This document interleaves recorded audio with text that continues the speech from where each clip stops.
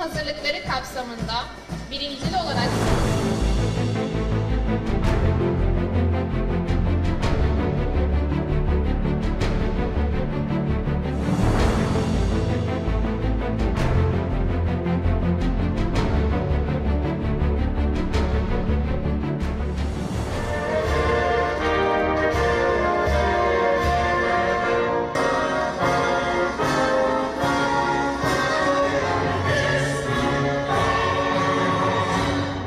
وسخر لكم ما في السماوات وما في الأرض جميعا Pakistan dünyanın önde gelen coğrafyaları arasında yer alan Güney Asya'nın en stratejik konuma sahip ülkesidir.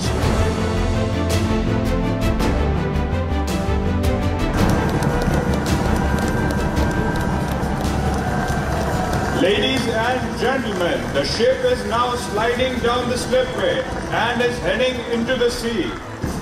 hanımefendiler ve beyefendiler gemi şimdi kızaktan iniyor ve denizle buluşuyor.